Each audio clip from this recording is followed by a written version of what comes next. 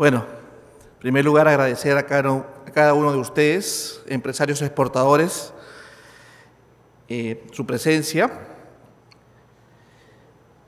El tema que vamos a desarrollar hoy, regímenes de exportación, aspectos jurídicos y operativos.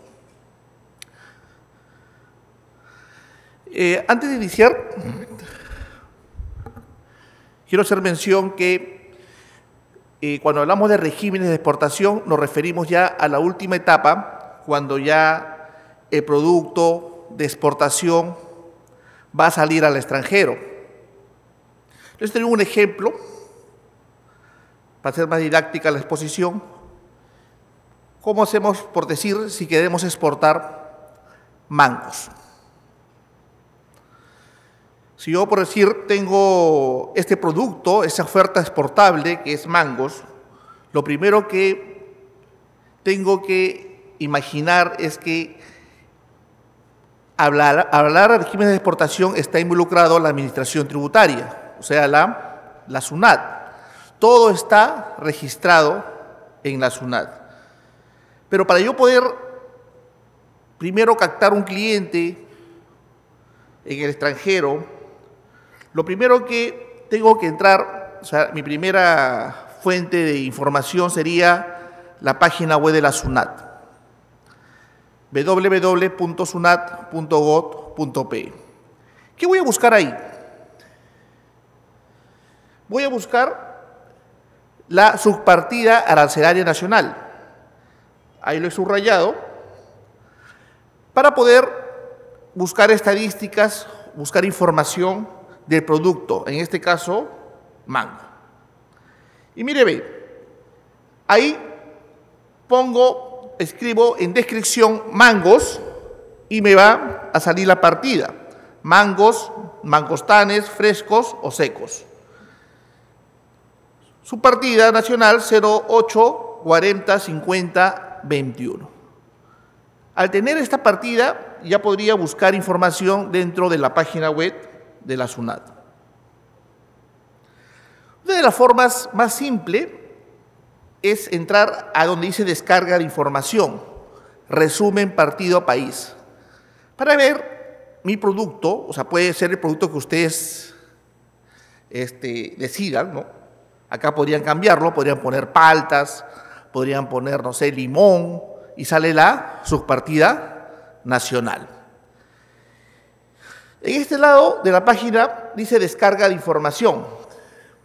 Entonces, en resumen, partida país, ahí yo coloco el año 2018, pongo exportaciones, ingreso la subpartida nacional. Pongo consultar y me va a salir el reporte de las exportaciones del año 2018, a qué países a qué países está ingresando mi mercancía. Supongamos que yo quisiera dirigirme a España, ¿no? exportar a España mi producto, que son mangos. Pero me doy cuenta que el país que más importa mi producto es Holanda, Países Bajos. Pero haciendo un análisis, yo desearía exportar a España. Porque todos sabemos por las noticias que los Países Bajos, eh, Holanda, es un puerto hack donde revenden la mercancía, ingresa a Ámsterdam y luego sale para otros países.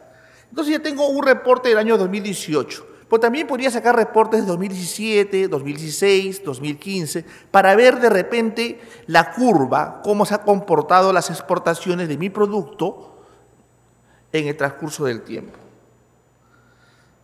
Ahora, también tenemos otra información importantísimo, que es el detallado por partida. Ahí me detalla la información que yo necesito saber sobre mi producto. El detallado de partida, ahí colocamos, ahí está la exportación o también puede ser la importación. Y colocamos el periodo. Supongamos un mes, enero del 2018 al 18 de enero del 2018. el formato DBF y consultamos. Al consultar, en la parte de abajo, que lo he subrayado con rojo, me sale un, un código. Ese código lo apunto. ¿Por qué? Porque luego salgo y hago clic en resultados. Al hacerle resultados, ese código va a figurar. ¿No? Ahí va a figurar. Le pongo control F, busco el código, le saco el SIC y me va a bajar una base de datos de la información de mi producto, en este caso, mangos. ¿Sí? Todo el movimiento, a qué país, quién embarcó, eh, agencia de aduanas, con qué trabaja, y toda la información que necesito, toda la información que los exportadores declaran. Ahora, como yo soy un exportador quizás nuevo, esa información me va a servir, me va a servir bastante. Ahora, una de las situaciones es que esta información se baja en DBF. ¿Qué es lo que hacemos? Lo convertimos en un archivo Excel para poder hacer nuestras tablas dinámicas. Después de ello, acá le quiero hacer un ejemplo cómo yo buscaría un proveedor. En este caso, vuelvo a repetir, mi ejemplo es que estoy exportando mangos. Ingreso donde hice una partida movimiento. ¿Sí? Una partida movimiento. Y al ingresar a una partida movimiento le pongo régimen de exportación. Le pongo régimen de exportación y yo quisiera saber en el año 2017 quiénes han sido las DANs que han exportado mi producto, mi producto acá en el Perú. Entonces, me sale toda esta relación de todas las DAN del año 2017. En esta situación, yo como estoy tratando de exportar mi producto a España, ingreso a España. Al ingresar a España, ¿no? me va a salir una relación de DANs en la página web. En este momento ingreso a esa DAN, me va a pedir la página web una clave, y me sale esta DAN de exportación. ¿Qué es lo importante para mí? ¿De qué aduana ha salido esta exportación? ¿Quién es el, exportador? El número de manifiesto y el tipo de transporte. Podría ser el tipo de transporte marítimo, podría ser el tipo de transporte terrestre o aéreo. Con estos cuatro datos, antes la página web antes la página web, porque en verdad, cuando uno exporta a tu agente de aduana, ¿qué le entregas? Le entregas también la factura comercial. Y ahí está el dato de quién? El dato de tu cliente en el extranjero. Esa información ya la aduana lo ha, este, eh, por un, tema de competencia que ha hecho, lo oculta. Pero ¿cómo podría yo ver ¿Cuál es el proveedor? Ahí está la empresa. el proveedor sería fructífera, SAC. Pero quisiera ver yo lo que me interesa, quién le vende. O sea, a quién le vende este exportador. Atención que esta forma, como lo estoy haciendo, también se aplica para cualquier producto de exportación. O sea, no solamente para mangos, no puede ser para palta, vuelvo a repetir, para textiles, para ferretería, lo que deseas exportar. Pero mire, tengo que sacar estos cuatro datos importantes. ¿Dónde voy a saber yo? ¿Dónde voy a encontrar a este cliente en el extranjero? En el manifiesto de carga. Ingreso entonces al área de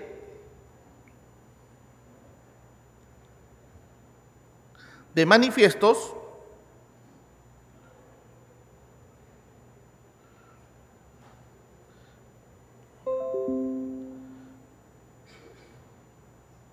al área de manifiesto de carga, y acá en el área de manifiesto de carga, al ver que es un manifiesto de carga, es exportación, exportación, ingresamos en la página web manifiesto de carga de salida. Entonces, como acuérdense que la DAN decía que era Tumbes, por tal motivo es una declaración de régimen de manifiesto en provincia. Ahí lo pongo, ¿no es cierto? 2017, 290 Tumbes, medio de transporte terrestre. Si me decía la dan marítimo, le ponía marítimo. Y mira lo que me sale acá. Me sale algo importantísimo. Toda esta información, como es transporte terrestre, solamente me va a salir algo pequeño. Si es marítimo, porque el manifiesto, ¿qué significa? Es toda la relación detallada, por ejemplo, si es marítimo, todos los containers que se van en el buque. ¿Sí? Si es aéreo, la relación de container que se va en la línea aérea. Acá tengo el consignatario, o sea, a quién llegó la mercancía en España. ¿No? Y la empresa es Frutas Olmos S.A. En una situación sencilla, entro al Google y pongo Frutas Olmos S.A. Hacer clic, ya encontré a, quién? A mi posible cliente. ¿Por qué comienzo con esta parte introductoria? Porque ahí comenzamos realmente el trámite de exportación. O sea, si yo soy un potencial exportador, lo primero que tengo que hacer para exportar, ¿qué cosa es? Encontrar un cliente. ¿Sí? Encontrar un cliente. Entonces ya tengo este cliente.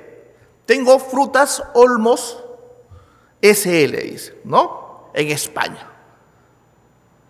Entonces, yo como empresario exportador, ¿qué es lo que voy a hacer para poder iniciar? Tengo que enviarle primero, quizás, una cotización, una carta de presentación, decirle soy la empresa tal, quisiera yo vender a usted mangos. Me presento. Esta empresa me respondería, quizás no, pero habría que buscar. Acuérdense que yo solamente he hecho una muestra, pero tendremos una relación, pues, ¿no? De, eh, de clientes en el extranjero. Algunos no me responderán, algunos me dejarán en visto, pero quizás uno me responde. Si me responde, yo le cotizo, y más que seguro que el extranjero me va a pedir qué cosa, una muestra. ¿Cierto? una muestra. Al, pedirme una muestra, yo le voy a enviar pues unos mangos sabrosos, se puede decir, bonitos, los mangos, de buena textura, y lo voy a enviar de repente por exporta fácil. Al llegar el mango a España, al español se va a quedar sorprendido con el sabor de mi mango y que va a decir, pues no, hostia, quiero este mango, ¿no? Eso es lo que va a decir, ¿cierto? un contenedor de este mango, ¿no? ¿Sí? Entonces, ahí comenzamos quizás a hacer nuestro trámite de exportación. ¿Qué es lo que va a suceder? Es que en los negocios internacionales no es como un negocio pues local. Vamos a, vamos a perfeccionar el contrato de compra y venta. Pero según la Convención de Viena, el contrato de compra y venta internacional se puede hacer en manera oral, no necesariamente como nosotros estamos acostumbrados, ¿cierto?, a hacer un contrato y tiene que ser con firmas legalizadas, escrito. No, en el negocio internacional se acepta el contrato por correos. Una vez que se acepta el contrato, se perfecciona. Una vez que ya hemos hecho, ya hemos realizado el hemos perfeccionado el contrato, lo que, lo que va a suceder es que nos ponamos de acuerdo con el medio de pago. Yo le podría proponer una transferencia bancaria, una carta de crédito, una, un documento en cobranza. Después de ello, se me va a generar quizás una orden de compra, ¿no? una orden de compra, para comenzar a empezar nuestra exportación. En el aspecto jurídico, la exportación, ¿cómo se define? Como la salida legal de mercancías nacionales o nacionalizadas para su uso o consumo definitivo en el exterior. Así lo definimos, ¿no? En la manera jurídica. ¿Dónde está tipificado esto? En Decreto Legislativo 1053 de nuestra Ley General de Aduanas. Pero también hay que, hay que este, entender de que en nuestra ley de aduanas no está tipificado lo que es la exportación de servicios. Porque cuando uno exporta una mercancía, no solamente exportas el valor de la mercancía, también exportas los servicios relacionados con la mercancía. Y ahí está, pues, ¿no? El flete, lo que le pagas a la gente de aduanas, lo que le pagas quizás a la gente de carga, lo que pagas al depósito temporal, todo eso lo vas a sumar y lo vas a exportar. Pero, con mucho beneplácito, les informo de que ya tenemos reglamento para la nueva, para la ley de exportación de servicios, que ha sido modificado el año pasado. ¿Qué es lo interesante de la exportación de servicio? Mire, ve, eh, una de las, este, de las grandes noticias ¿no? del año pasado es que ya se, estaban terminando, ya se terminaron las negociaciones con un nuevo TLC que tenemos con, la, que vamos a firmar con la India. Eh, pero nosotros si analizamos la balanza comercial con la India, lo que le exportamos a la India, ¿qué es? Minerales. minerales, cobre especialmente, plata. ¿Y qué le importamos de la India? Importamos billotería, importamos este, mototaxis, importamos este, autos, eh, textiles y algo importante que es la industria farmacéutica. Pero cuando a mí me preguntan cuál es eh, la importancia de firmar un TLC con la India, por ahí escuché a algunas personas que dicen es una relación de película, una relación de película. No imagínate, me dice, ¿no? que los actores de, de Bollywood vengan a estos guerras, vengan a combate, ¿no?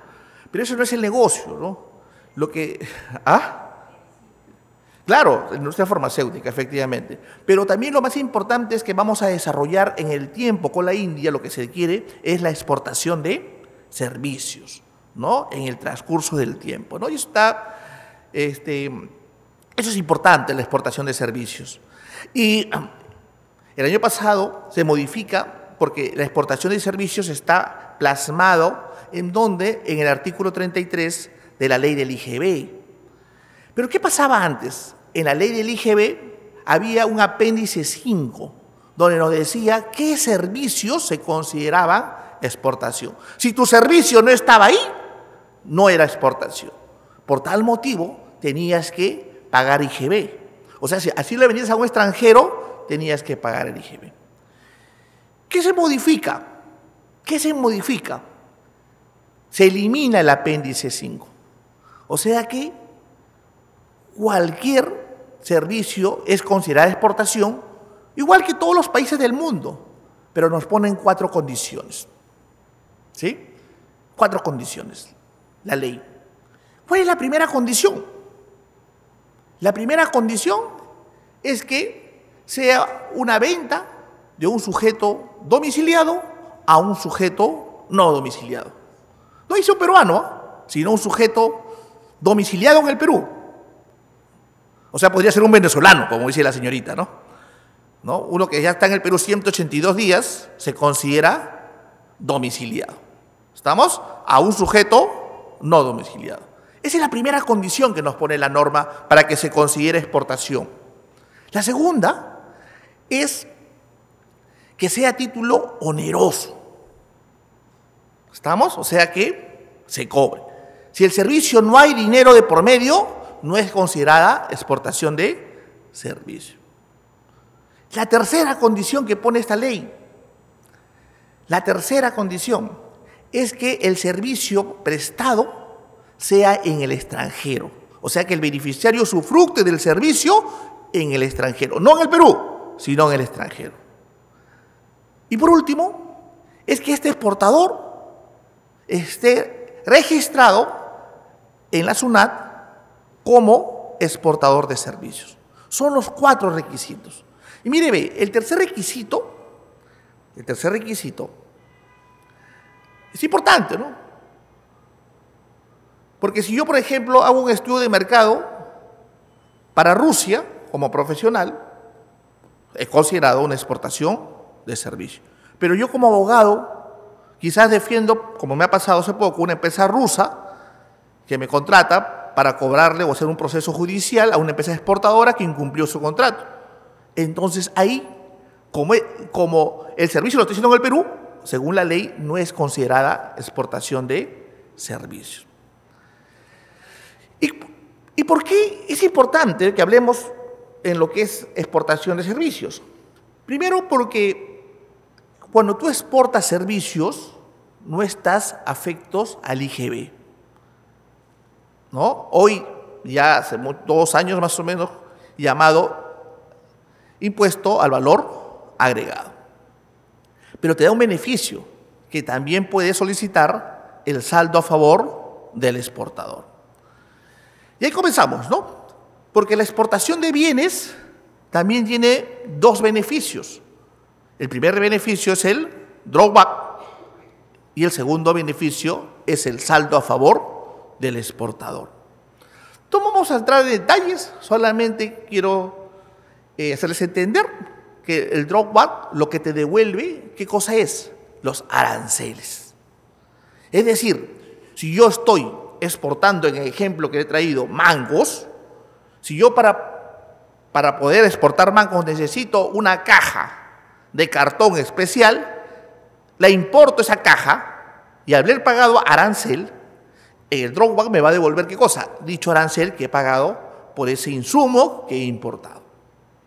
Pero ¿qué es el saldo a favor del exportador? Ajá, cuando yo importé esa caja, cuando yo compré algún insumo, cuando compré quizás, no sé, fertilizantes, compré abono, ¿qué pagué? IGB. Ese IGB que se me acumula porque entendamos que según la ley, la exportación no está afecto a ningún tipo de tributo. Y es más, la ley GB dice que la exportación no está afecta al impuesto general a las ventas. Por lo tanto, si yo exporto, no voy a cobrar IGB. Pero todo ese IGB que yo he pagado con las facturas de mis proveedores, se me acumula. Ese crédito fiscal se convierte en saldo a favor del exportador. ¿Sí? Entonces, muchos dicen que es un beneficio. Bueno, el drawback será un beneficio, pero a mi entender, el saldo a favor del exportador es un derecho. Es un derecho de quién? De todos ustedes de reclamar, ¿cierto? Ese IGB, ese IVA que se ha pagado y se lo tienen que devolver.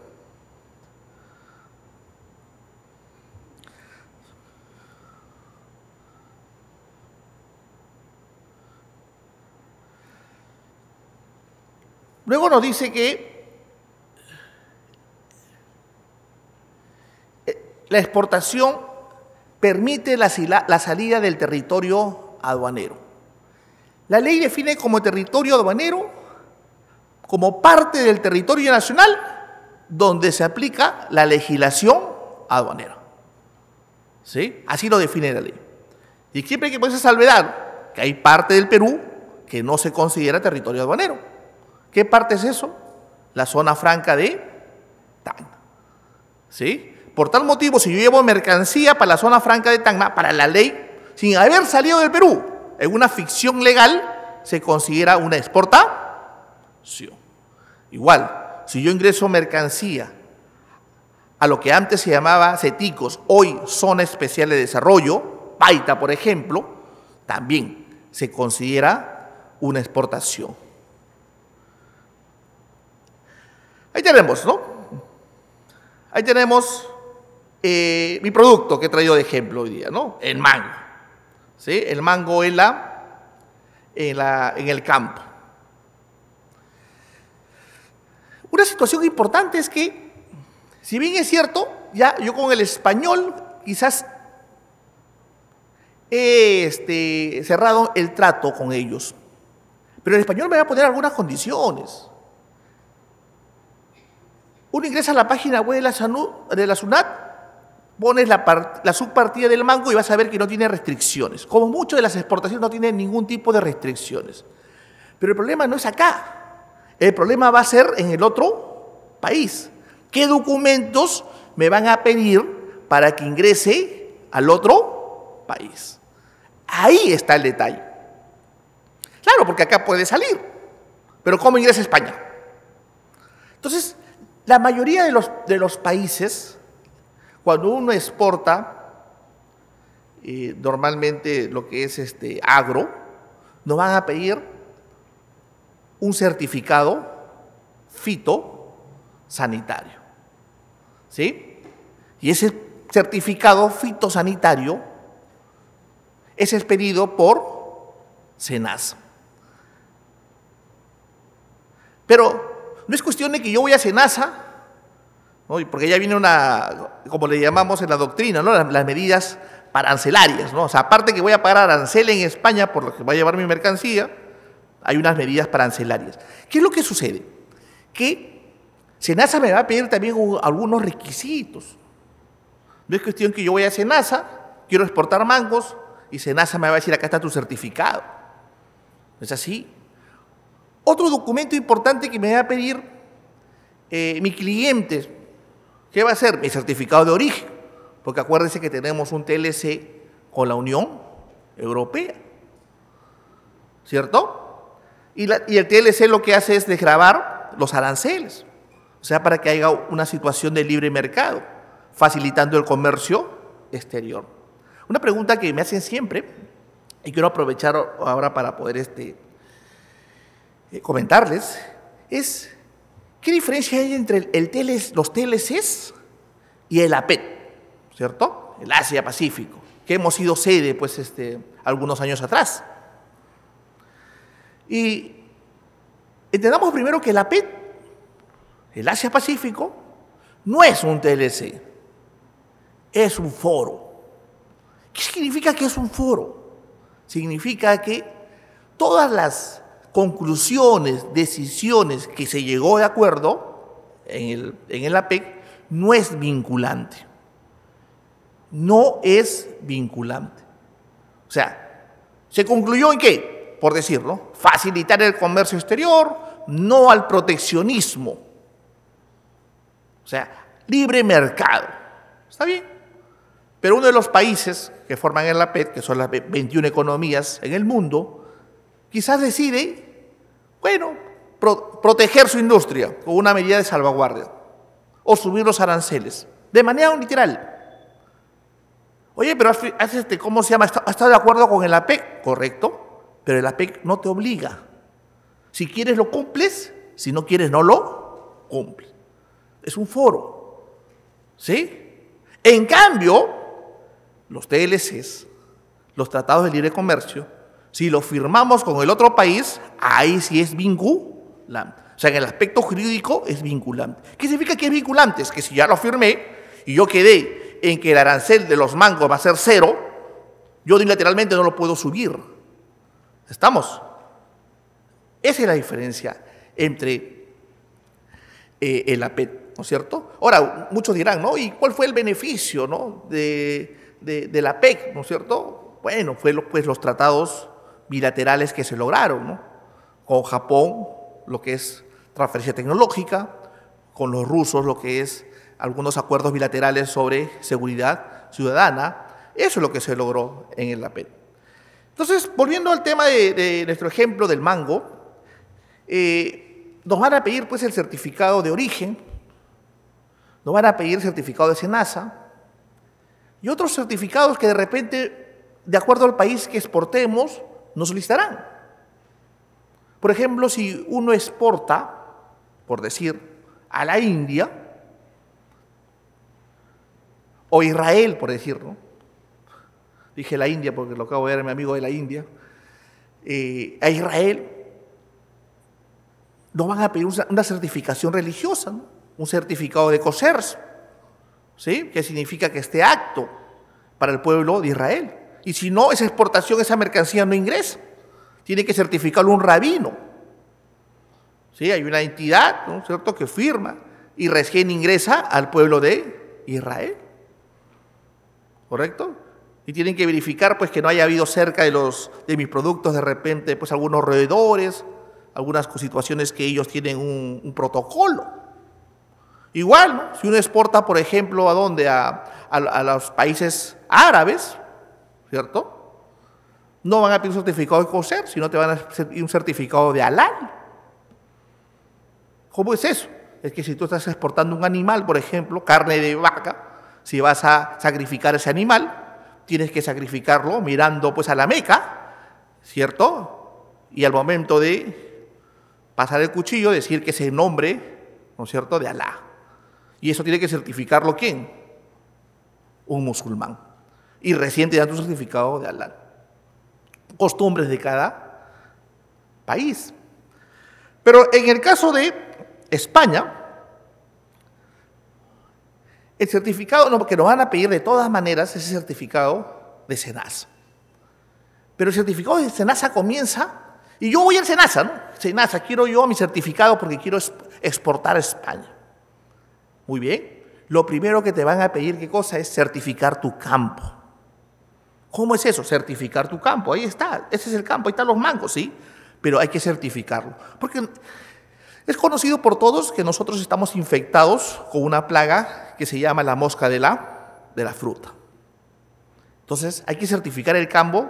¿Para qué? Para que se naza de fe de que el área donde tú siembras y cosechas tu producto no está infectado con la plaga de la mosca de la fruta.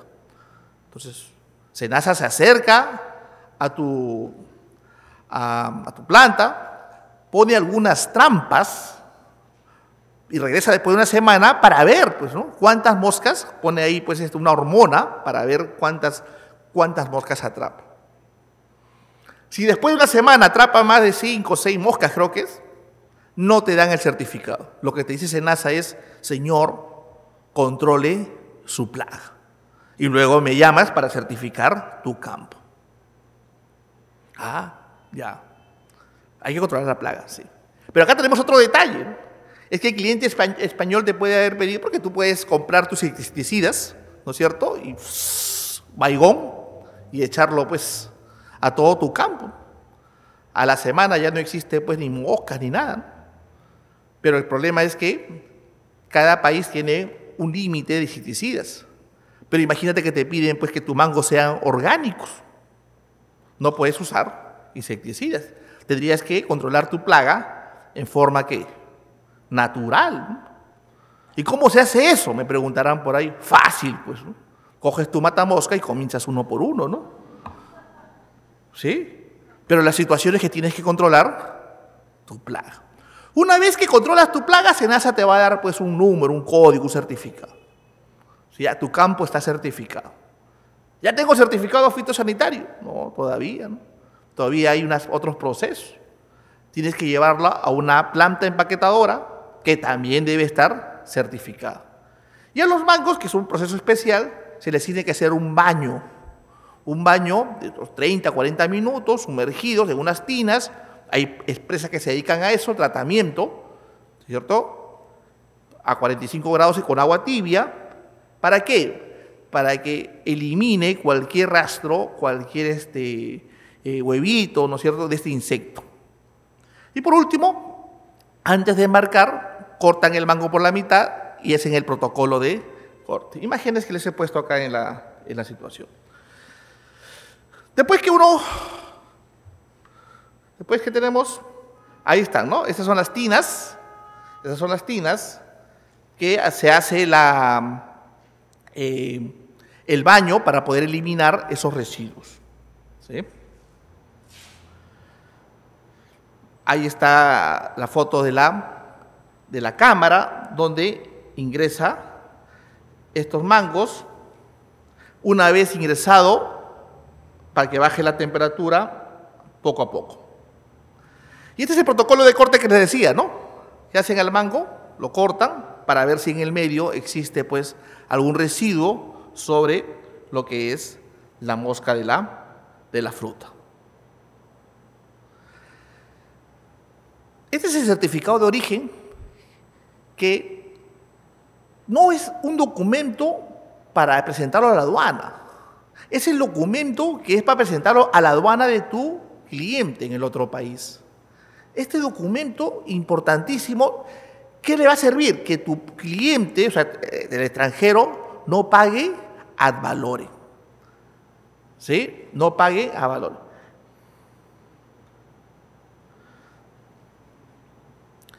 Decíamos que la exportación es la salida legal de mercancías nacionales o nacionalizadas del territorio aduanero. Cuando decimos nacionales significa, por ejemplo, paltas, fresas, arándanos, cualquier mercancía extraída, producida en nuestro país. Pero la ley nos dice nacionales o nacionalizadas. ¿Qué significa o nacionalizadas? hay mercancía que tú puedes haber importado, por ejemplo, celulares, automóviles, máquinas, has pagado tus tributos y ya se considera nacionalizado. Ingresó con el régimen de importación. Al cabo de unos dos, tres años, esa máquina deseas venderla a otro país y se considera también una exportación. Como decíamos, ¿no? Territorio aduanero es parte del territorio nacional. ¿Sí? Es parte del territorio nacional. Este territorio aduanero, según la ley, es donde se aplica la legislación aduanera.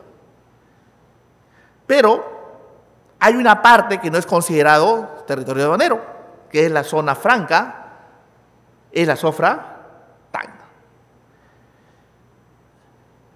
Ahora, el territorio aduanero está dividido en zona de tributación especial y zona de tributación común.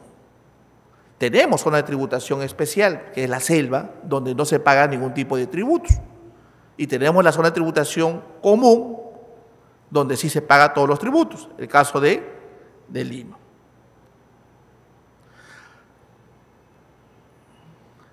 Este es un ingreso de una mercancía a la zona especial de desarrollo de, de Paita. Al ingresar, ¿no es cierto?, la mercancía, hemos dicho que ya se considera una exportación.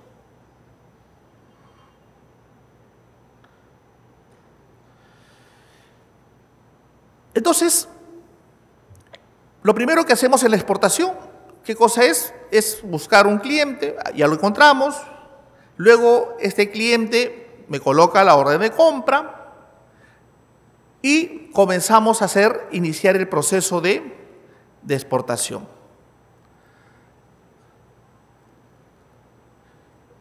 El primer documento, lo primero que tengo que hacer para exportar, es solicitar el booking. Ese es el primer documento que necesito. Pero ¿qué es el booking? No, no es un documento aduanero, el booking es un documento netamente operativo.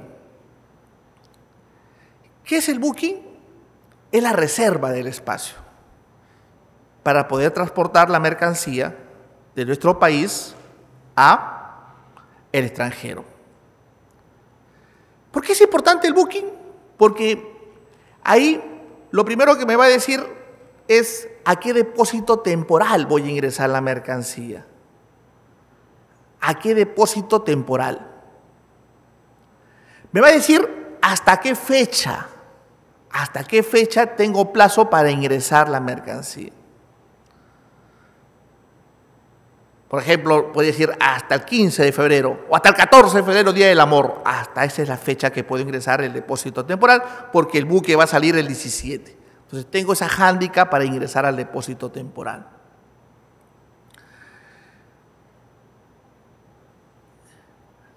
Uno podría recoger el contenedor en los almacenes o los depósitos temporales eh, donde te entregan los contenedores este, vacíos o podrías ingresar directamente al depósito temporal para que ahí llenen tu contenedor.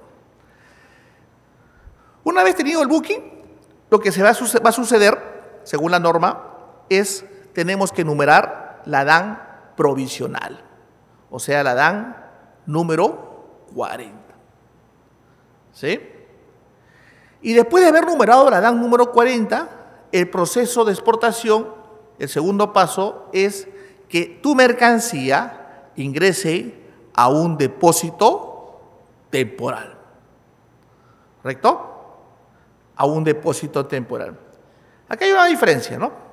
Si es marítimo, ingresa pues a un depósito y te van a dar tu ticket de ingreso. Si es aéreo, ¿no? Y tenemos depósitos como Choín, Talma, te van a dar un documento que ellos le llaman warehouse, ¿cierto? Que es lo mismo, pero es aéreo.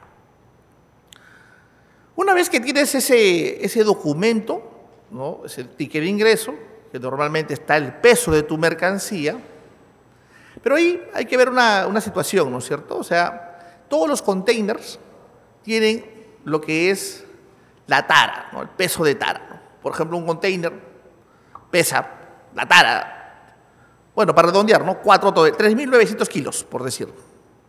Entonces, si tu container en bruto pesa, no sé, 15 toneladas, le restamos la tara, o sea, la tara es el peso del contenedor vacío, ¿sí? Para ver el peso neto de tu mercancía.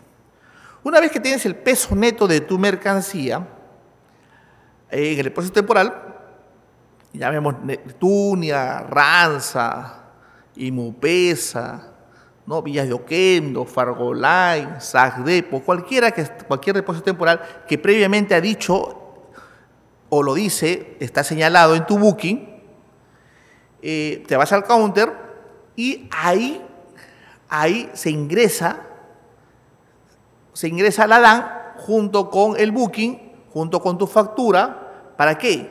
Para que el depósito haga el refrendo de la DAN. ¿Qué significa refrendo de la DAN? No es más otra cosa que el depósito temporal va a avisar, avisa comunica a la administración tributaria, ¿para qué? Para informar de que la mercancía de un exportador ha sido ingresado en tal depósito. Y una vez que la administración tributaria aduanera eh, recibe esa información, responde, refrenda la DAN. Y cuando refrenda la DAN, le da un canal de control, que puede ser naranja o puede ser rojo. En ese momento, el depósito temporal coloca un sello en tu DAN. Y ahí tenemos nuestro canal de control. Si es naranja, está listo para embarcar. ¿Estamos? Tiene levante. Listo para embarcar. Y si es rojo, ahí está, pues, ¿no? Revisión documentaria ¿no? y reconocimiento físico. Vuelvo a repetir, en exportación tenemos dos canales de control. Naranja y rojo.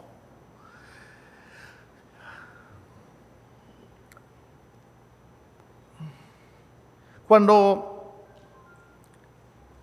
cuando es canal rojo, ahí lo que va a hacer el especialista de aduanas, ¿qué cosa es? Revisar todo el container. Revisar si lo que has declarado está correcto, si los bultos están correctos, si la mercancía se ha clasificado bien, si la mercancía que dices es lo que, lo que contiene el container. Tú dices que es mangos, debe haber mangos, ¿sí? hace dos semanas estamos en una, en una exportación. Eh, hay una situación que ustedes también tienen que entender, es que eh, los agentes de aduana podrían ellos también eh, inducir en la DAN que si de repente tienen una duda la gente de aduanas, que el canal sea rojo. Pero hace dos semanas hubo una exportación que hicimos a, Alemania eran unas piedritas talladas y estas piedritas talladas había salido canal naranja, o sea que nos iba a revisar y estaba lista para el embarque. Una situación extraña, ¿no? Porque son piedritas talladas, ¿no? O sea, piedras para Alemania, ¿no? Entonces siempre pues corre la imaginación que de repente hay otra cosa, ¿no? ¿no? De repente hay otra cosa dentro de ahí, ¿no? Podría ser, Entonces, eh, nosotros, los que, los que somos agentes de aduanas, podemos también solicitar que esa mercancía en el depósito pase a una revisión BOE. ¿Sí? Revisión BOE. ¿Y qué es la revisión BOE? Es de brigadas de operaciones especiales de la SUNAT eh, antidrogas, ¿no es cierto? Ellos van con sus perros y comienzan a, revisar si no existe nada ilícito. Numerada la DAN provisional 40, yo tengo hasta máximo 30 días para hacer todo el trámite aduanero. O sea, 30 días para que se embarque la mercancía. Después que se embarca la mercancía, después que se embarca la mercancía, tenemos 30 días más. ¿Para qué? Para poder numerar la DAM provisional. La DAM provisional.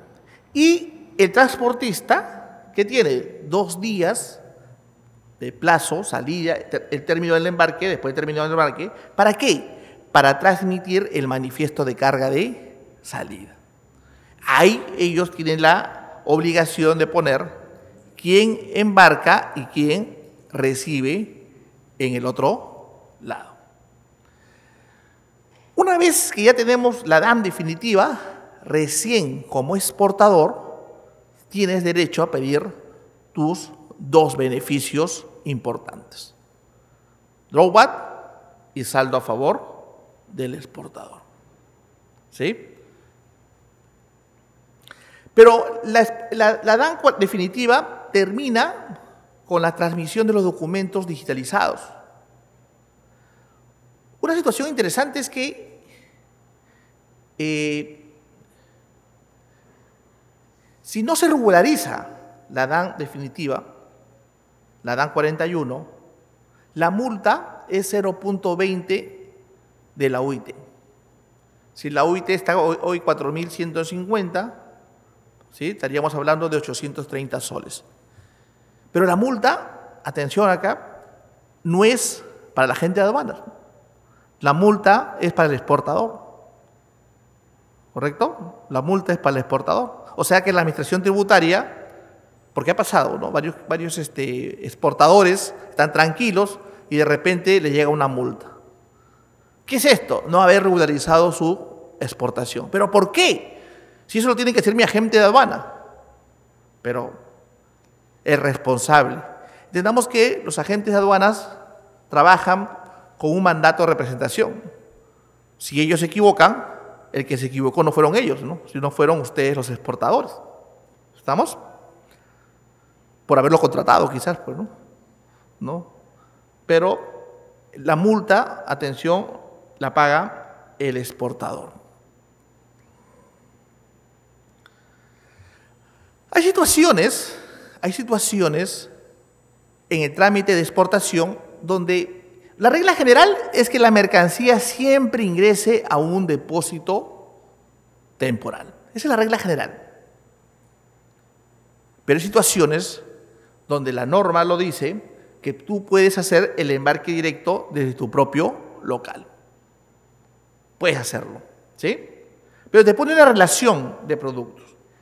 Si tú estás exportando una mercancía peligrosa, ¿sí?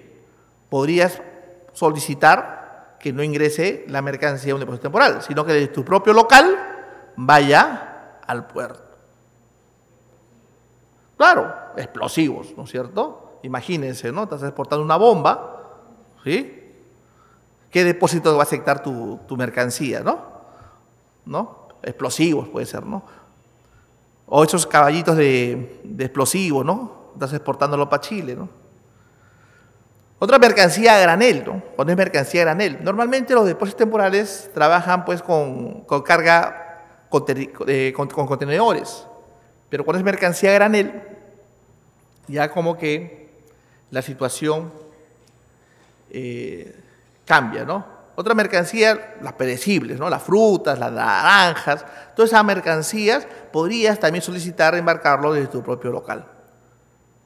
¿Sí? Atención que no es una regla, sino que tú tienes que pedirle a la SUNAT que quieres embarcar desde tu propio local. ¿Sí? Hay muchos exportadores que están en Guaral que directamente embarcan desde su propio local o donde empaquetan sus productos.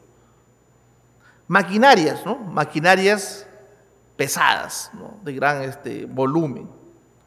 Esas maquinarias pesadas que no ingresan en un contenedor. Entendemos que un contenedor tiene de alto más o menos dos metros y medio y de largo el de 20, 6 metros y el de 40 pies tiene hasta 40, hasta 12 metros de largo.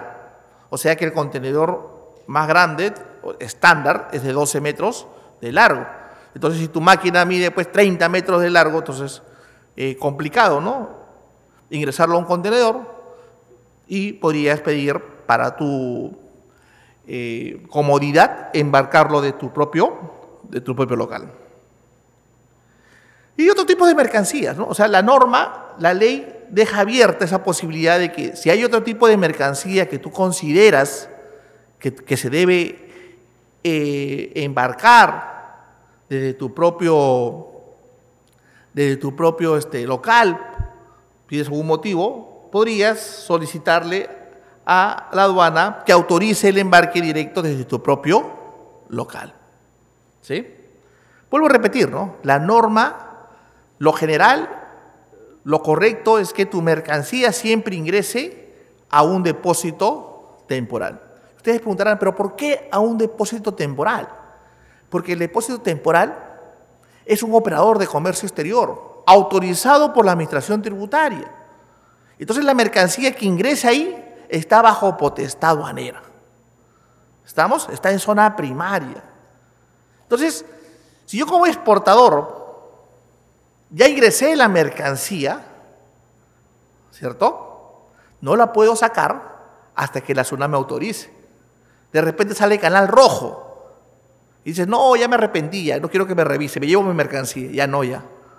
¿Cierto? Tienes que esperar que la SUNA te revise y después, ay, si ya no la quieres marcar, ¿qué importa? Pero la SUNA lo tiene que revisar. ¿Sí? Hay casos, ¿ah? Hay casos donde de repente por X motivos el exportador deja su mercancía, sale Canal Rojo y nunca hace el aforo. Entonces ahí de oficio la administración tributaria, ¿qué es lo que hace? Abre el contenedor. ¿Estamos? Abre el contenedor. ¿Sí?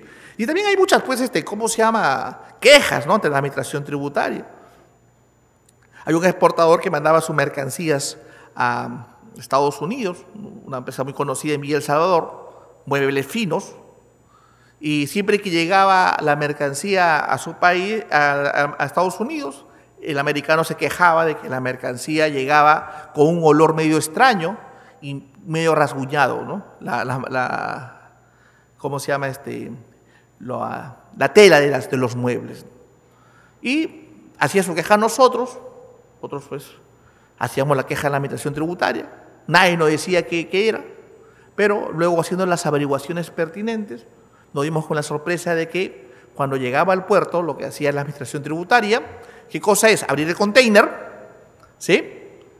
Y ingresaban pues los perritos, ¿no? Para ver si había alguna sustancia, sí, sí, y rasguñaban, y por ahí algo hacían, ¿no? Alzaban la patita y ahí quedaban los olores, ¿cierto? Pero ahora, ¿podríamos nosotros demandar a la administración tributaria? No se puede, ¿no? Porque está bajo su, su potestad, ¿no? Es la potestad de la aduana, ¿no? Es controlar, ¿cierto? El ingreso y salida de mercancías. ¿no? Eh, medio de transportes. Esa es su potestad de la, administración tributaria.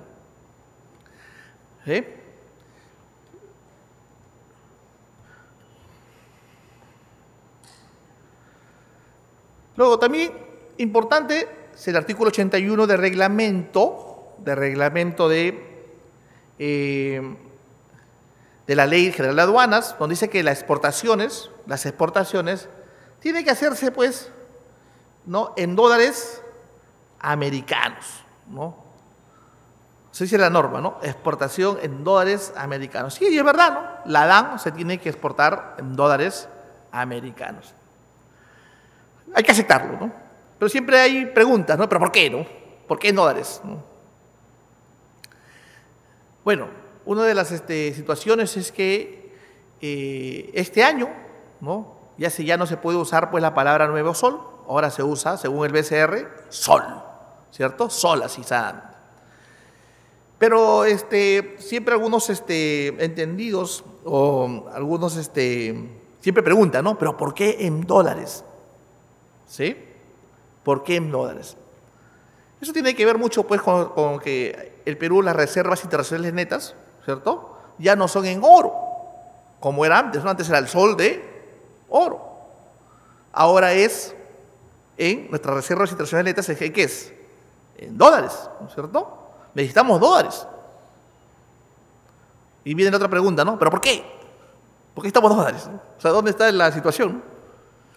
Estamos dólares, pues, porque los dólares internacionales en el mundo, eh, los, dólares, es la moneda del mundo. ¿Pero por qué? Otros, seguimos el por qué, ¿no? buscándole el por qué, ¿no? ¿Sí? Y eso ya hubo una investigación donde se decía, pues, de que las reservas internacionales netas en Estados Unidos ya no tampoco es en oro. No sabemos de qué es. Pero lo que sí sabemos es que los americanos tienen un convenio con los países árabes, ¿cierto? Donde, que, donde ellos exigen que los países árabes, exportadores de petróleo, reciban una única moneda, que son dólares. ¿Sí? Entonces, si Perú quiere traer petróleo de, de Arabia, le tiene que pagar en qué? En dólares. Entonces necesitamos dólares. ¿Y por qué esos países árabes eh, aceptaron, a cambio de qué? De que Estados Unidos, una potencia en el mundo, le dé seguridad. ¿Sí? O sea, yo te doy seguridad a Estados Unidos a ustedes, países árabes, pero te pido una condición, que cuando tú exportes tus oros, la única moneda que vas a aceptar va a ser mi moneda, los dólares. ¿Sí? Es por eso que siempre hay algunos conflictos, ¿no es cierto?, en el Medio Oriente. ¿Estamos? Siempre Estados Unidos está ahí. Pero es un tema económico. Entonces, los, dólares son necesarios.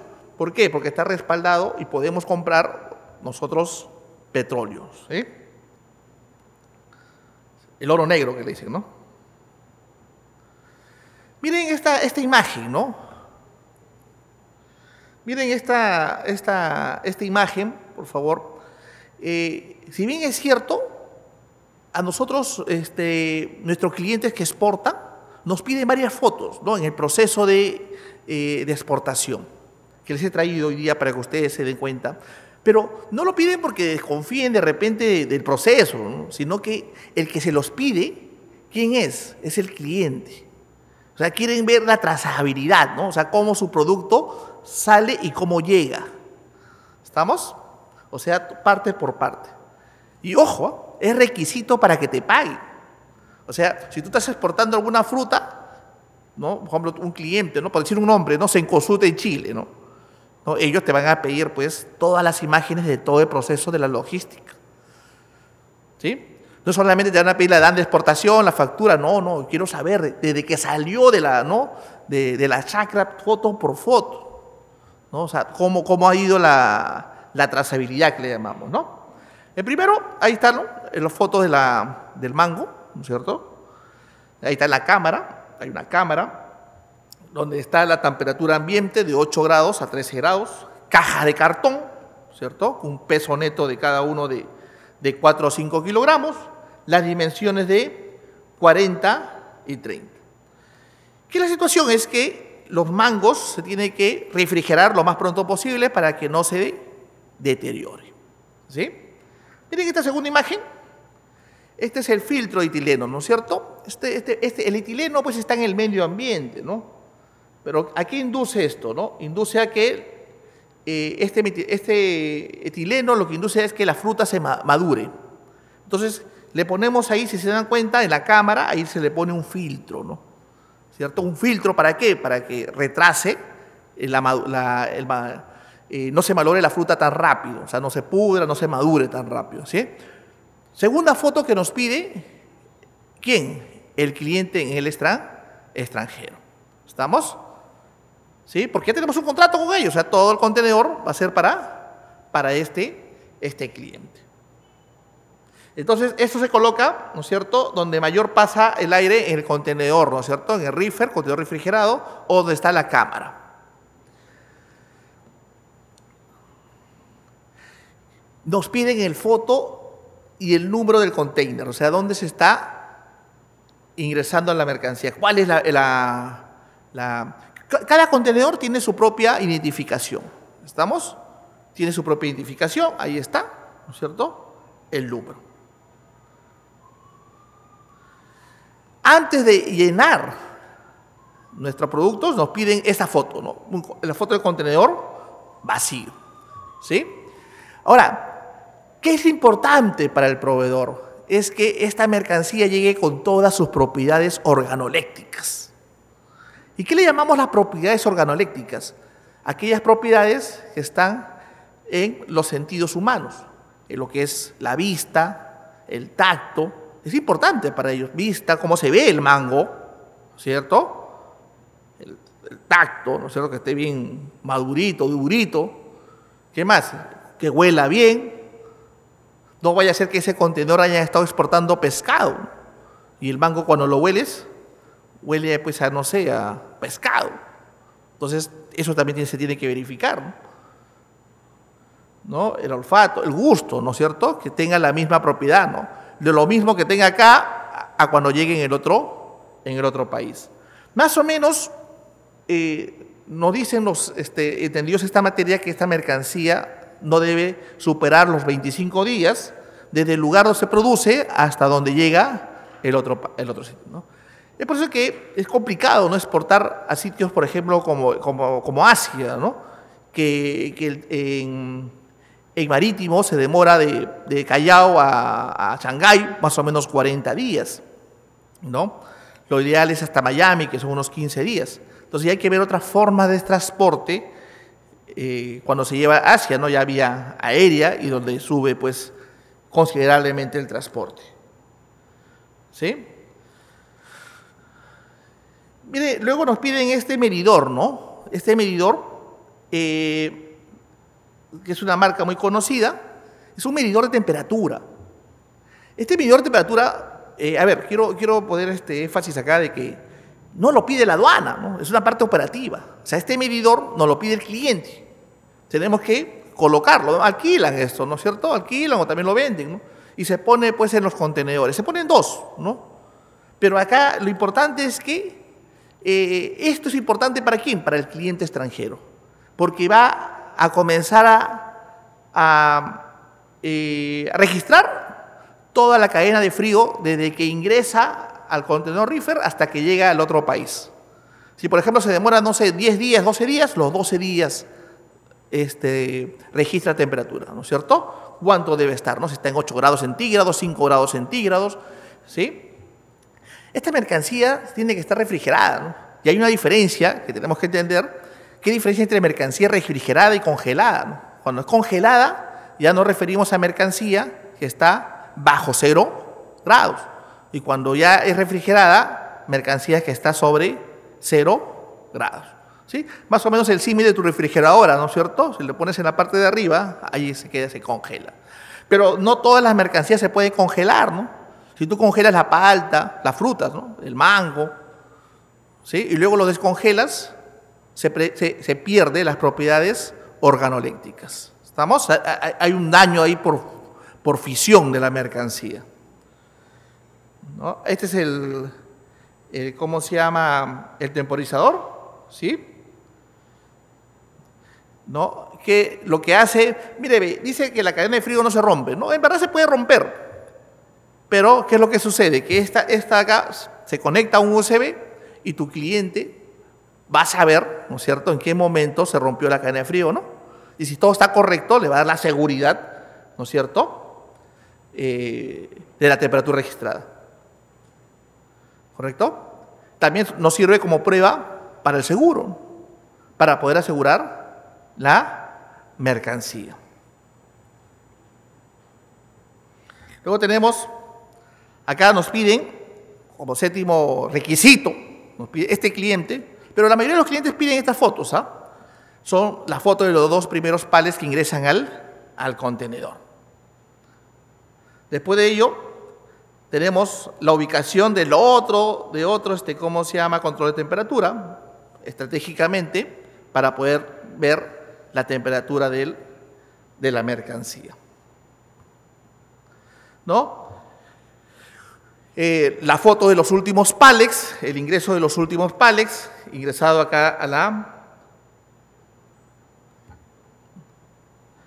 Y luego tenemos eh, las fotos de seguridad, ¿no?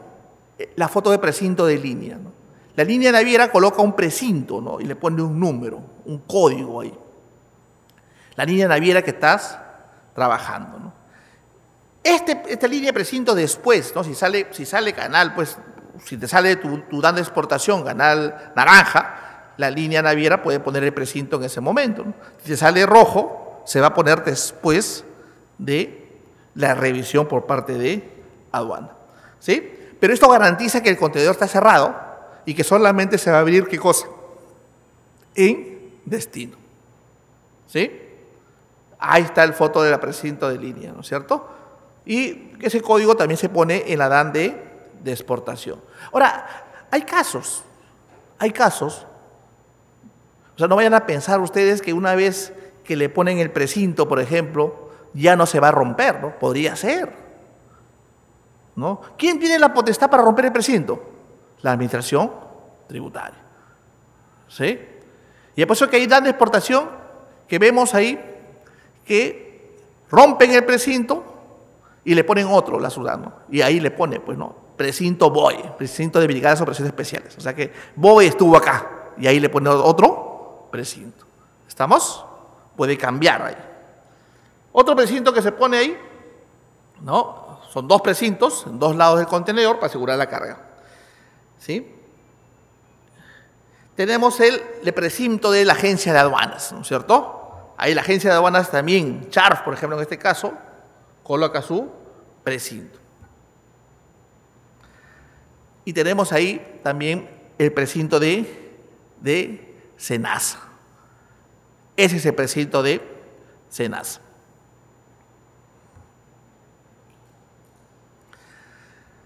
Por último, el seteo del contenedor, ¿cierto? Ahí tenemos que poner el parámetro de exportación, tomamos la foto cuando se pone ¿no? los 8 grados centígrados. ¿sí? Vuelvo a repetir, todas estas fotos son las que nos pide quién? El cliente en el extranjero. Pero atención, ¿no? O sea, cada, cliente en el extranjero tendrá su propio protocolo, ¿no? Te dirá, pues yo quiero 20 fotos de tales partes de tu proceso de exportación. ¿Sí? Hemos cogido un ejemplo cualquiera, ¿no? Y luego también nos pide, importante, ¿no? La foto del, de la ventilación del contenedor, en la parte de arriba.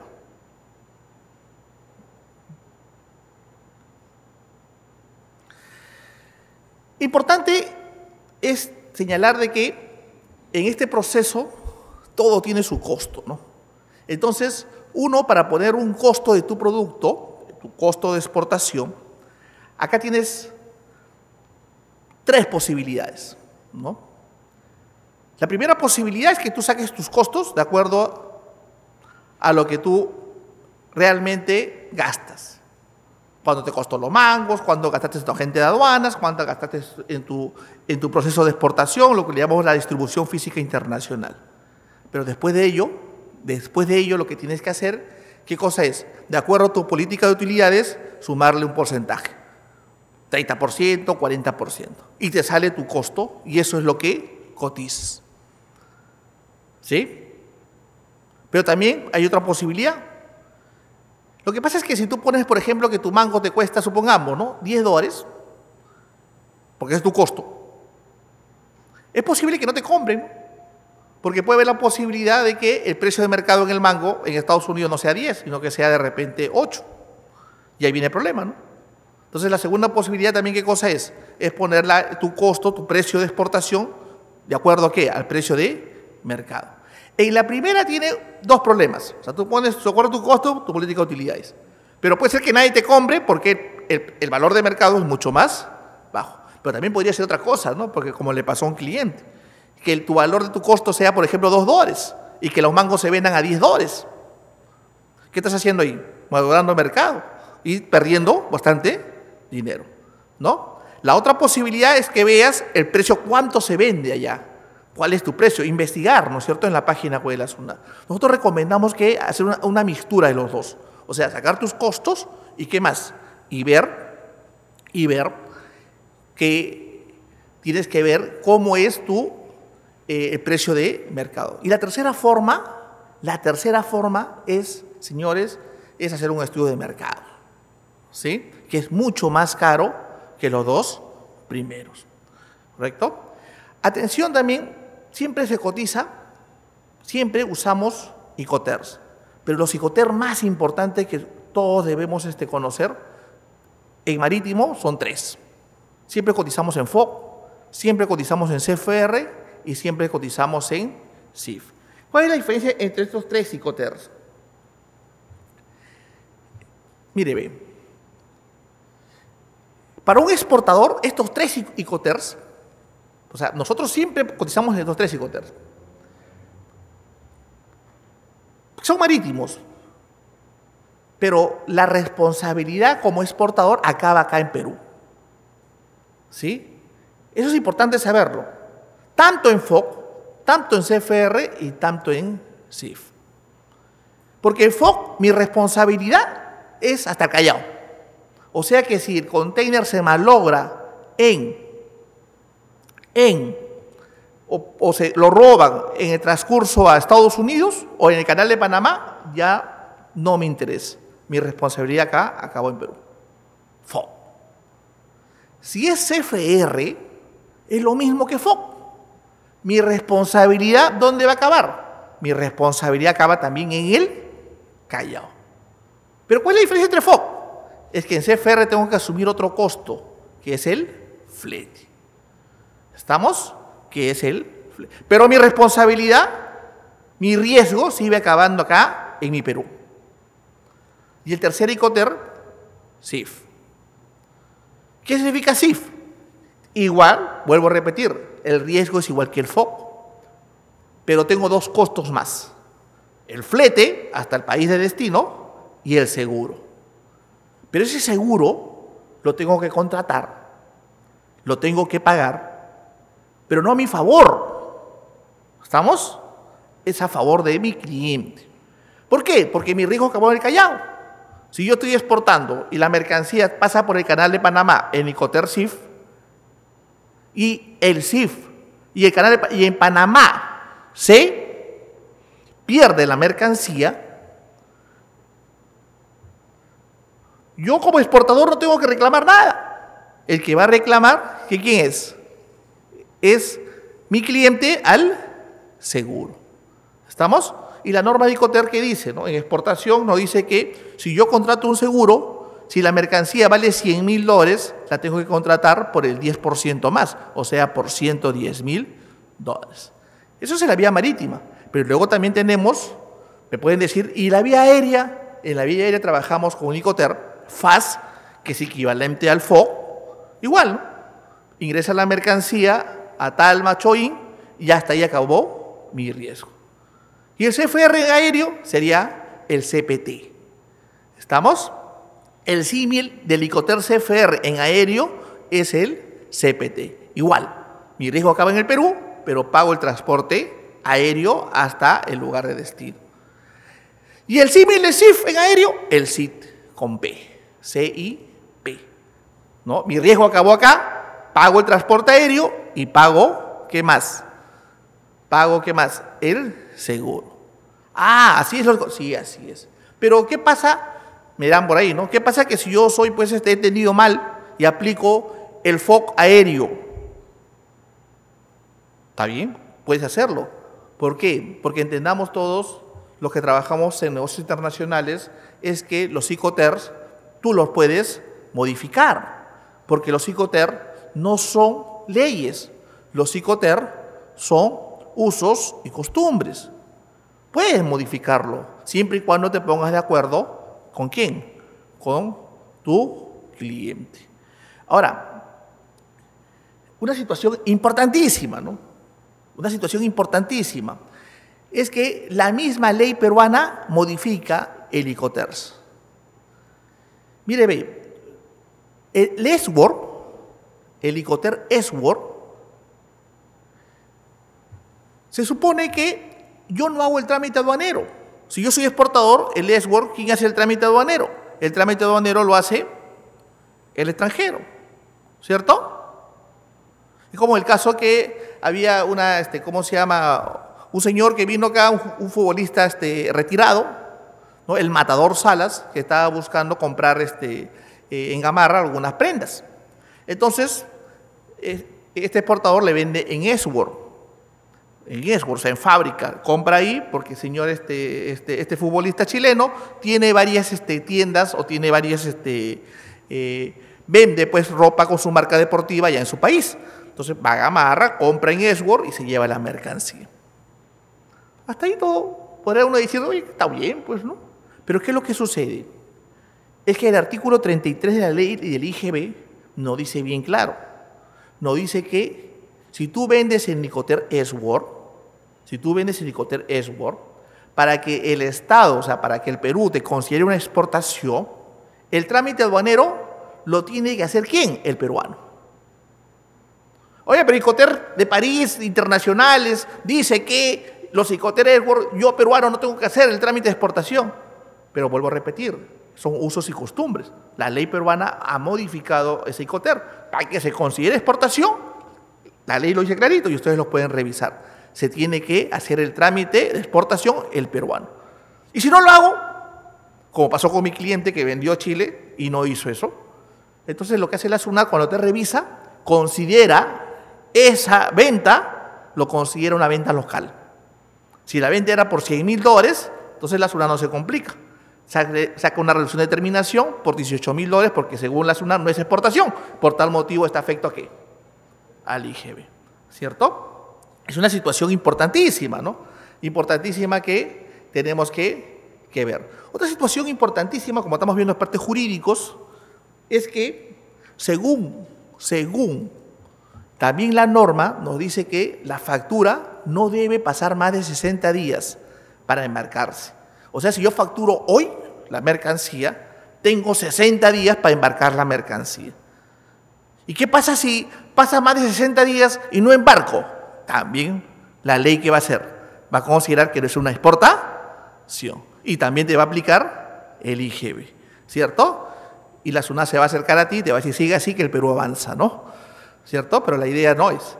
La idea es incentivar las exportaciones, ¿sí? Muy bien, antes de terminar, quisiera saber si alguien tiene alguna pregunta, por favor. ¿Sí?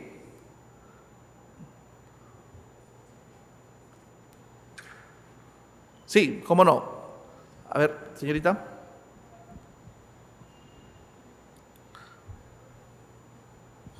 Buenos días. Eh, en tema de, del certificado de origen, en el caso de, productos, de accesorios de moda realizados eh, bueno, en forma artesanal, ¿cómo sería el trámite? ¿Y, ¿Y qué países lo requieren en todo caso? Ajá, muy bien. Eh, el certificado de origen lo requieren aquellos países eh, que necesitan probar el origen de que la mercancía es peruana. Hay países, por decir, o sea, lo, natural es que lo solicite aquel país que tengamos un tratado de libre comercio, ¿no? que son bastantes. Pero también puede ser un país que de repente no, no tenemos un TLC con ellos, pero quieren probar que la mercancía sea peruana. Porque hay, mercancías que, puede, que, está prohibido de otro país, supongamos, ¿no?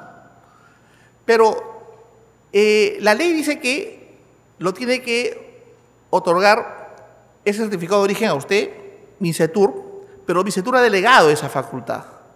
O sea, ¿a quién ha delegado? A tres organismos importantes, ¿no? A tres instituciones. Ha delegado esas instituciones al primero, que es la Cámara de Comercio, al segundo, la Sociedad Nacional de Industrias, y tercero, ¿a quién? A ADEX. A estas tres instituciones ha delegado, ¿para qué? Para que ellos otorguen el certificado de origen de acuerdo a los requisitos.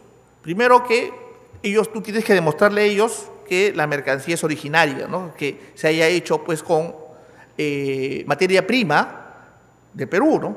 Entonces hay una serie de requisitos, se llaman totalmente originarios, requisitos específicos de origen, este, ¿cómo se llama? Eh, y todos esos requisitos que uno cumple, esas entidades te dan tu certificado de, de origen. ¿Estamos? ¿Sí? pero también hay que tener mucho cuidado porque uno no puede falsear esa información. Entendamos de lo que es negocios, tenemos el principio de buena fe, pero la multa es alta. Si uno falsea información, la multa es de 20 UITs. Que tener mucho cuidado con eso. ¿Sí? Muy bien. Buenos días, doctor. Eh, acerca del certificado de sanitario que nos otorga SENASA, usted nos comentaba que se necesita certificar el campo en el caso que sea eh, una mercadería, un producto, ¿verdad? Un producto agrícola. Eh, si la empresa exportadora no consta de algún campo y solamente de proveedores, por ejemplo, de insumo, del insumo que, que exporta, en ese caso, ¿cómo sería?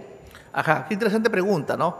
Ese es algo este, común, ¿cierto? O sea, lo que te entiendo es que tú, por ejemplo, quisieras comprarle los mangos a alguien, ¿cierto?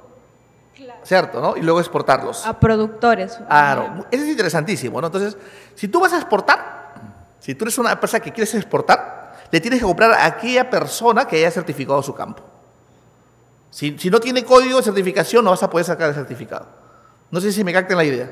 Porque si tú compras mango a, alguien, a un productor, ¿no es cierto? Por ejemplo, en, Piura, que no tiene certificado su campo, el mango te va a servir para venderlo acá en el mercado central, acá en el mercado Santanita, pero no te va a servir para que lo puedas mandar a otro país. ¿Cierto? Porque se, porque se te da esos requisitos. O sea, la trazabilidad. Eh, ¿Compraste tú? Pues sí, pero ¿dónde está el código? ¿A quién le compraste? La factura tiene que estar con el código. ¿Y con el certificado que tiene tal proveedor eh, se entrega a SENASA? Este, no, le das, llenas un formulario donde pones el código de a quién le compraste. Ok. El código de que ellos están certificados. Porque supongo que la certificación que ellos le han hecho también lo tiene Senasa y entonces claro, allí se da cuenta. Y ojo que tienes que tener trazabilidad, o sea que tú, la mercancía tienes que comprarle aquí a alguien y llevarlo a una empacadora que también tiene que estar autorizado por Senasa y luego recién tú te presentas al protocolo de corte para que este, abran tu, muestra de mangos o, tu, de fruta que tú decías. ¿Sí? Gracias. Ok.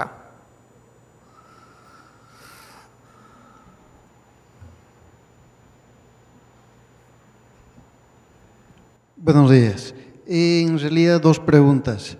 Eh, en el caso, digamos, de comprar a un productor de textiles para exportar, eh, me conviene a mí realizar el proceso de la exportación, no el productor. Uno. ¿Le puedes repetir el qué?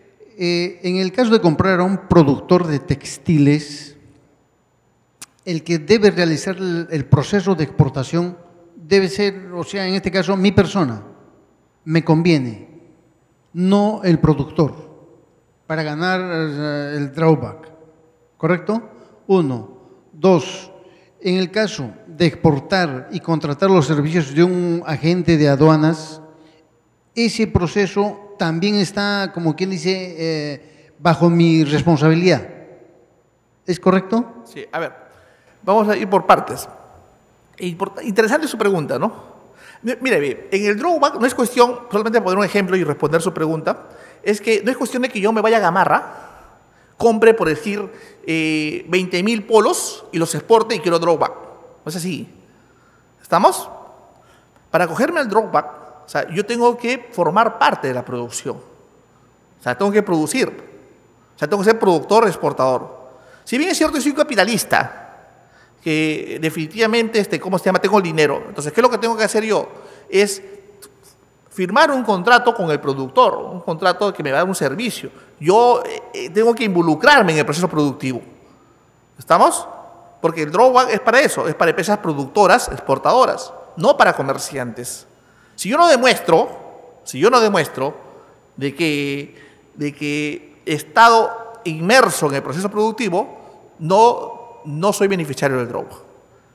¿Estamos? Entonces, en el caso de usted, no es cuestión de que usted sea comerciante, no, tiene que firmar un contrato, un contrato que está que te da un servicio, involucrarte con esa empresa. Y el que se acoge al droga es usted, como capitalista. No sé si me entiende. ¿Sí? Eso es que tenerlo claro. ¿Y lo segundo que me dijo que era? Eh, respecto a la gente de aduanas. Ah, no, la gente de aduanas es un operador de comercio exterior. Usted puede contar a cualquier, a cualquier agente de aduanas. Pero la responsabilidad recae sobre mí. O sea, eh, yo soy el que se beneficia con el drawback. Ah, obvio que sí. No, no, el agente de aduanas simplemente es una... Es un, tramitador. con el perdón, con claro, Sí, sí, no, o sea, el agente de aduanas simplemente es un especialista, un asesor, ¿no es cierto? ¿no? que usted le va a pagar una, pequeña comisión, pero una, sus honorarios, pero no, no, o sea, toda la responsabilidad civil y penal es para el exportador. Hay que tener muy claro eso, ¿no? ¿No? Y es por eso que hay que conocer un poco, porque este, en el drawback eh, este, existe una formalidad, hay que tener insumos importados, hay que tener una buena contabilidad, ¿estamos? una buena contabilidad. Los exportadores tienen dos beneficios muy, muy, este, muy importantes, ¿no? el drawback y el saldo a favor del exportador. Y los dos son totalmente diferentes, o sea, en el sentido que, si bien es cierto, uno devuelve los valores, el otro devuelve el IGB. ¿Estamos? Pero eh, uno es para aduanas y otro es para tributos internos. ¿Sí? Dígame, dígame. Depende bastante de la buena contabilidad en todo caso. Eh, yo estoy convencido que eso es eso. ¿Me entiendes? Porque el orden es importante. El orden es importante. Uno, por ejemplo, ¿no? Si, mire, ve, en una fiscalización de drawback, lo que te van a pedir es la guía de remisión. Si usted ha, por ejemplo, contratado a una empresa productora para que le haga sus textiles, allá está bien. Primero, ¿cómo le pagaste? Bancarización. Segundo, guía de remisión de tu local al local de allá. Y todo eso tiene que ser contabilizado. ¿No? Como el nombre del chofer, la placa del carro, guía de transportista. ¿Estamos? Pagar de tracción. Y todo eso lo ve qué cosa los contadores, ¿no es cierto? Perdón, finalmente una última. En el caso de, que, digamos, o sea, yo haga un contrato con el productor, el productor me debe emitir a mí una boleta, una factura. Una factura. Y pagar con detracción, porque son todas las, este, las servicios es una factura con detracción. ¿Sí? Ok.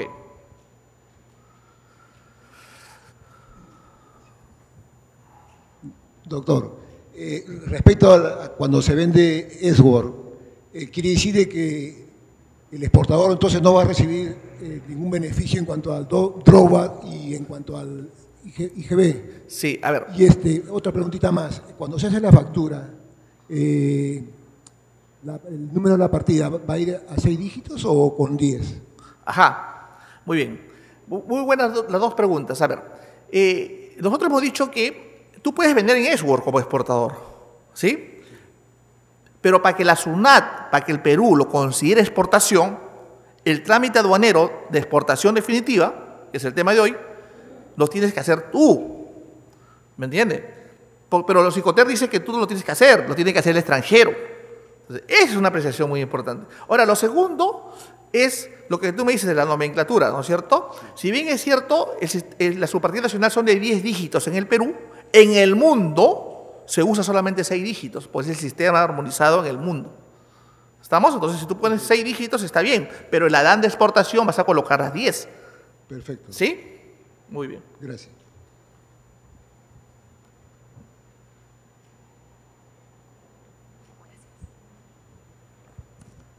Doctor, tenemos una última pregunta en el chat.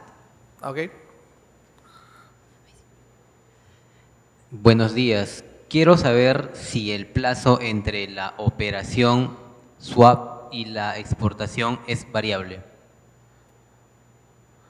A ver, la exportación swap es una, una exportación de, de metales preciosos, de oro, ¿cierto? Swap significa intercambio. ¿Estamos? La ley no dice que el plazo es de 60 días. O sea, ¿qué es el SWAT? A ver, imaginemos de que, eh, imaginemos que yo deseo, yo soy un una, una empresa, una empresa que fabrico eh, artesanía en oro. Entonces, lo que va a suceder es que una empresa americana me tendría que mandar el oro para que yo fabrique la artesanía. Pero no, la empresa va a pagar al banco, por ejemplo, Citibank, y lo que va a hacer el banco de crédito acá es transferirlo vía, vía, este, vía SWIFT y hacer una operación SWAT, ¿no es cierto? SWAP, SWAT. Entonces, el banco de crédito va a comprar el oro, el oro, a una empresa minera acá, formal, inscrita en el registro de eh, energías y minas. Compra el oro, pero ese oro que compra ya se, considera una exportación. ¿Por qué? Porque lo está comprando un americano a través de los bancos.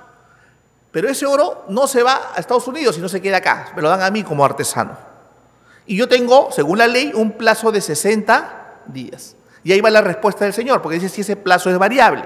Sí, se podría aumentar ese plazo, previa, ¿cierto? Motivación o justificación. ¿Sí? La norma sí permite ampliar ese plazo. ¿Correcto? Sí. Hay otra pregunta en línea de Juan de Dios Mata. En el caso de que el plazo de 60 días para exportar el producto luego de emitida la factura, ¿se podría anular la factura y emitir una nueva para obtener más tiempo de plazo?